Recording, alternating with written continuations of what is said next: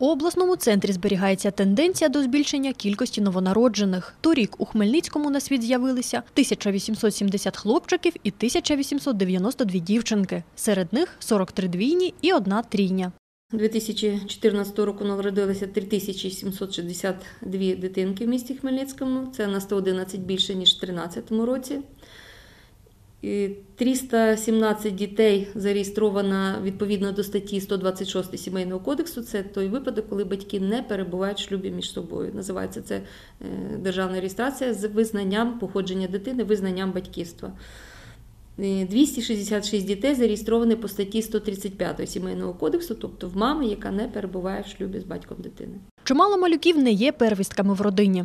Хочу відмітити, що в е, 320 сім'ях е, е, діт- дитинка була третя. Тобто люди зважилися і на третю дитину. Ну, зазвичай це такі сталі стабільні е, сім'ї, скажімо, е, з е, хорошим соціальним е, достатком, з хорошим соціальним статусом. Ну і, ну, і звичайно, батьки вже трошки старші. Це більше як е, 30 років, е, е, до, ну, приблизно до 40 років. Державну реєстрацію народження дитини регулює Сімейний кодекс України. Для реєстрації немовлят при собі слід мати такі документи. Це в першу чергу паспорта батьків, свідоцтво про шлюб, якщо батьки перебувають в шлюбі, і довідка, яка видається медичним закладам, де народилася дитинка. Кожна дитина має право на власне ім'я, яке, до речі, може бути й подвійним. Стаття 146 Сімейного кодексу України визначає е, право надання імені дитини, тому що це, зокрема, право батьків вибрати ім'я дитини. Протягом року у нас були Ніколай Дамір, Євангеліта, Євангеліна Елізавета, Марія Мадіна, Анна Марія, традиційне класичне, е, Софія Марія і Дар'я е, Павла. Протягом багатьох років незмінними лідерами залишаються два імені: чоловіче Олександр і жіноче Анастасія. Звичайно, діткам присвоюються такі імена е, і Марія, і Софія, і Анна теж до- дуже розповсюджене ім'я. Але от саме Олександра і Анастасія ну, є такі самими благозвучними, можливо, самими милими, можливо, пов'язані з якимось родинними традиціями, але саме такі імена найбільше присваюються діткам. Імена іншомовного походження зазвичай дітям дають батьки іноземці.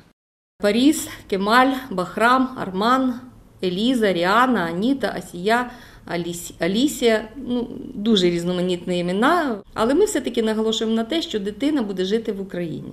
Буде жити в Україні, тому варто дитині присвоїти ім'я і по батькові, що немаловажно, відповідно до національних традицій нашої української. Якщо батькам важко визначитися з ім'ям малюка, у пригоді їм стане настільна книга працівників реєстраційної служби.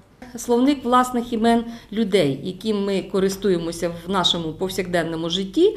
І які, до речі, і рекомендований Міністерством юстиції України нам в роботі. І тому, звичайно, спеціаліст е, перед тим, ніж як провести народження дитини, державну реєстрацію народження дитини, з'ясовує, яке ім'я такі ж бажають батьки надати своїй дитині. Останнє слово залишається за батьками. Ми не нав'язуємо, звичайно. Батьки можуть надати будь-яке ім'я дитині, будь-яке ім'я за їхнім бажанням, незалежно від національної приналежності, незалежно від е, родинних традицій, будь-яке ім'я. Зареєструвати дитину слід у місячний термін. Ярослава Іщенко, Іван Мовчан для інформаційного випуску.